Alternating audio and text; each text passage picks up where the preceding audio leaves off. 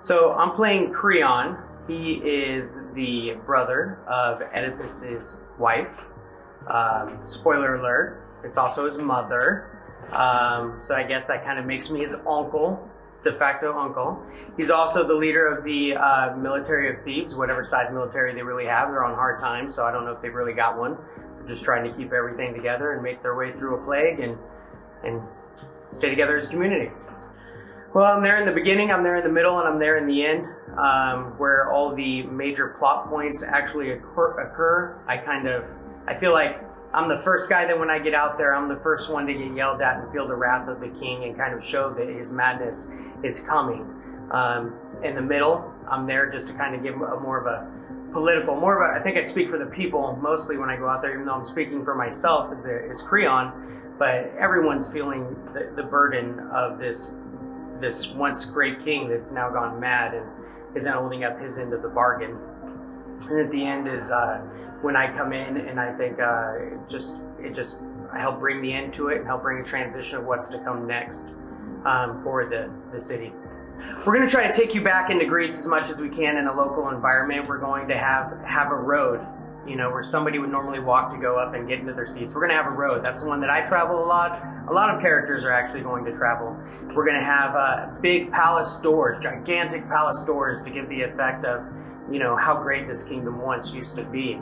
Uh, we're going to have a, a, busy street at the at the base of the palace of people just sitting around doing their daily their daily work, interacting with one another, doing rituals to the gods. Um, we're trying to recreate as authentic of a feel as we can for the environment at that time. There's a lot of political intrigue, a lot of soap opera, telenovela kind of environment to it, but at the same time, it's it's something that um, people have been struggling with for as long as humanity has existed. A lot of philosophical questions, questions about fate and determining your fate, and, everything else that's involved with that. So, I hope that we we are able to just go out there, put on a really great show, show that range of emotion, maybe get you know, impact people in a way that they can relate to things they've experienced in their life and make them actually ask those questions themselves as well.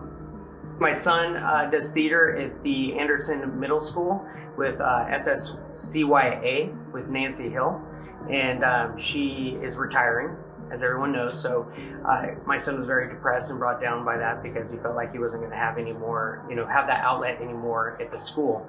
So um, he was invited to come to the auditions um, in was it June I think uh, for Axiom, and uh, he chickened out at the last minute.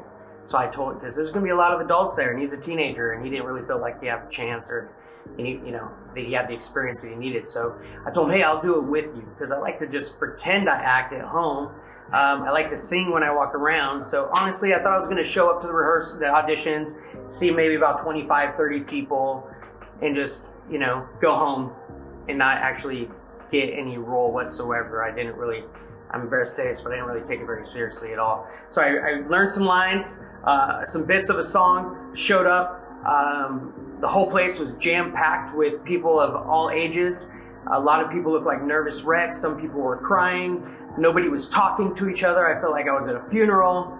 Um, I asked my son, is this the way it is? Because I'm normally happy, I'm joking, I'm laughing, nobody wanted to talk to me. And then I go into this room and I feel like I'm on uh, American Idol. There's all these people sitting in rows of tables, and I'm like, oh my God, what am I, what am I doing? And then all the things I practiced just left my mind. And so I just stumbled my way through it, did the best I could, and then just kept being asked to do more. And then I went through the reading experience, and I was like, wow, I never realized. So I learned a lot. And it made me appreciate what people do to put on something like this, the amount of people that it takes, the amount of time it takes, the amount of thought that goes into it. It's not just simple as reading it and saying, okay, this is what the character is, and then reading the lines with that kind of an attitude or voice. It's so much more in depth. So uh, I still don't have any expectations. I just I just want to learn, and I love everybody that's giving me the time because that's time is more valuable than anything in the world. So that that means a lot to me. So I'm just gonna roll with it, see how it goes. Don't miss out. Come to Axiom to watch Oedipus. that was great. see, it's a, it left my mind. Come see Oedipus at Axiom Repertory Theater.